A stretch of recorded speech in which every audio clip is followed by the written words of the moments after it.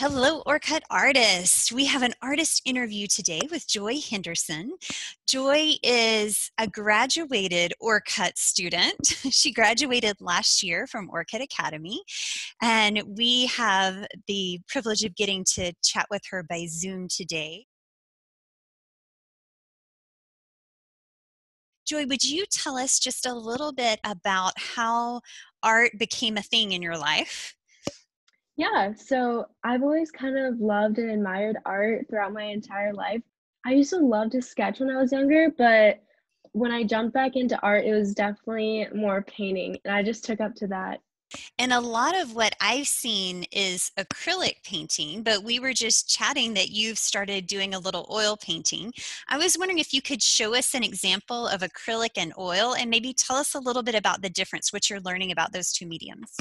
Yeah, so acrylic paint is what I would say most artists use, especially more beginner, because it is water based. So you can just wash it off and it dries a lot quicker.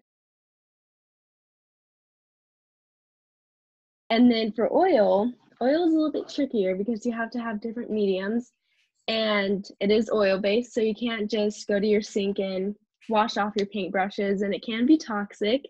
So with caution, this is an oil painting. And because of the drying time, it allows the artist to work with the different colors and the textures by like just giving it more time. And with that, you can create blends better. And overall it just creates for more realistic painting. Can you share a little bit of your painting setup? You're you sitting at the desk that you paint at sometimes yeah. but you had another spot that you like to paint. Yeah. So i have my setup right here and i have these are all my oil paints just because it's easier to keep them like bunched together. And there's my palette which you can't just wash off because they are toxic and that is where I clean my paintbrushes because you can't wash them off. And then all my paint's there. So I have a little easel back there that's holding that up. And that's where I work, especially with bigger paintings. But with my smaller paintings, I'll just work at my desk.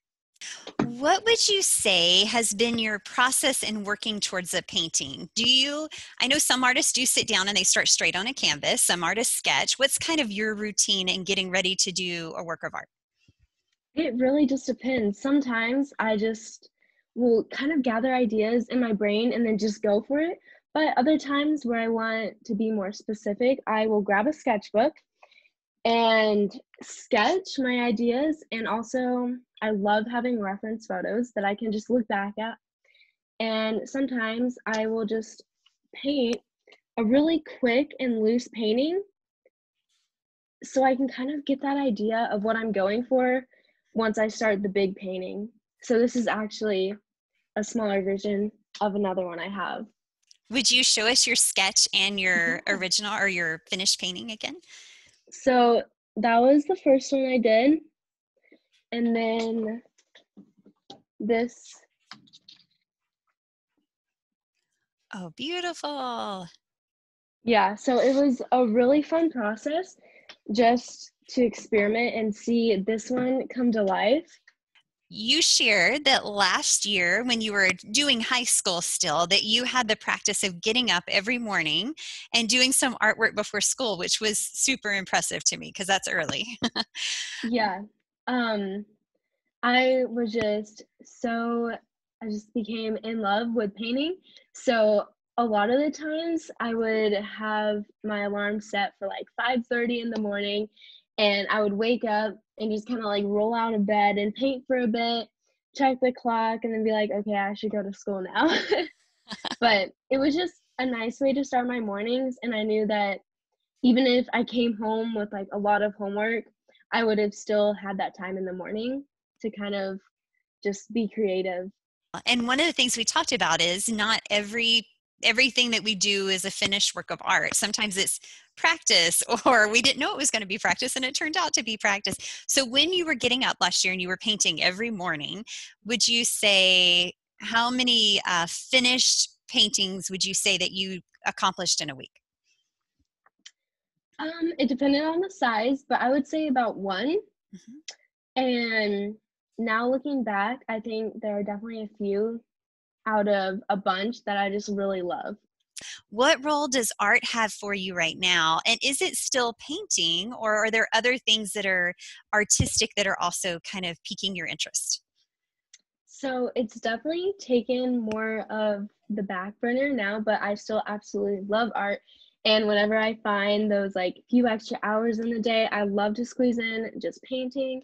And I also love photography and baking and cooking. So I've really been loving that, especially with being home so much. I love to cook for my family. Anything we haven't covered that you would want to say? Any encouragement that you have or thoughts that you have? I would say to just keep practicing.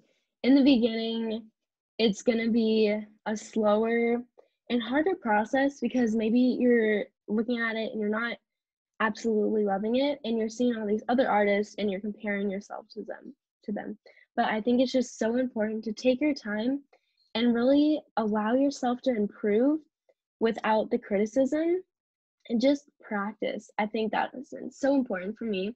And if you're painting and you mess up, paint over it. I have so many canvases that I can look at and say, well, before that was there, there was this whole other painting on it. So that's happened a lot of times where it's like, there's actually a secret painting under there. I just didn't like how it turned out. So I think that's really important too. And don't be afraid to mess up.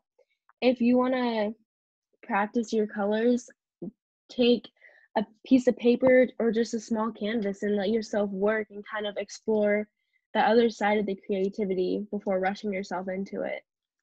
Joy, thank you so much for sharing with us. Thank you for sharing a little bit about your process. That's encouraging to hear how it's looked different and even now looks different.